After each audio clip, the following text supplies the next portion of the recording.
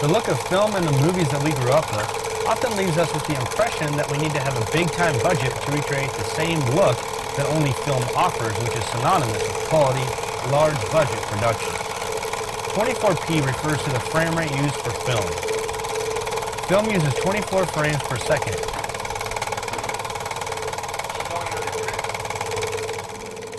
What's going on here?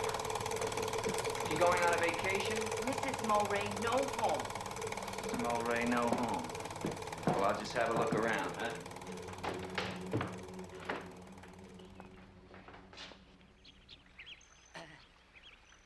Yeah, yeah, bad for the glass. Oh, yes. Bad for glass. Salt water, very bad for glass.